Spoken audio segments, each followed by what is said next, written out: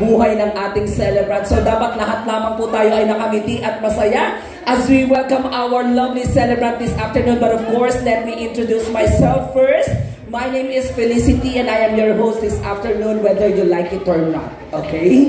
Wala po kayong choice. Ako po ang inyong makakasama nyo ngayong araw na ito. But of course, today, pansamantala muna natin kakalimutan ang ating mga problema sa ating mga bahay, sa mga chismosang kapitbahay, ha? ang mga problema sa utang dahil ngayong araw na ito tayo po ay magsasaya lamang at talaga naman po excited na rin ang ating celebrant na kayo po ay makita at makasama and the good thing na mangyayari ngayong araw na ito imbis na kayo po ang magbigay ng regalo sa ating celebrant ay ang ating celebrant ang may mga pinakabonggang regalong ipamibigay sa inyong lahat.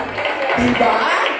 So dapat walang aalis. Actually, ilang taon na pinaghandaan ng family at ng celebrant natin ang araw na ito. So sana po, no, ano ba naman itong pinaka-special na araw na ito ay ilaan natin sa ating celebrant. So wala pong aalis dahil sisiguraduhin po namin sa inyo na sa simula hanggang dulo, tayo po ay magsasaya, magpapakabusog lamang. And of course, our mobile bar is open para po sa inyong lahat while you are enjoying our program.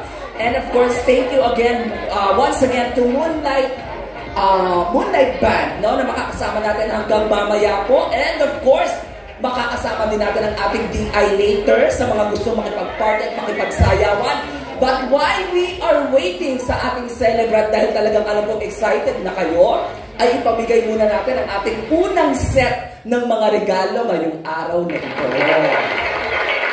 So I-test natin kung gaano nyo kakilala ang ating celebrant. So, kung sino po ang nakakaalam ng tamang sagot, syempre, meron kami pa-prize para sa inyo. So, unang katanungan, pwede ko tumaas ang kamay, pwede akong lumapit, at pwede rin naman po kayong uh, isigaw, no? Ang sagot, unang katanungan, o medyo madali.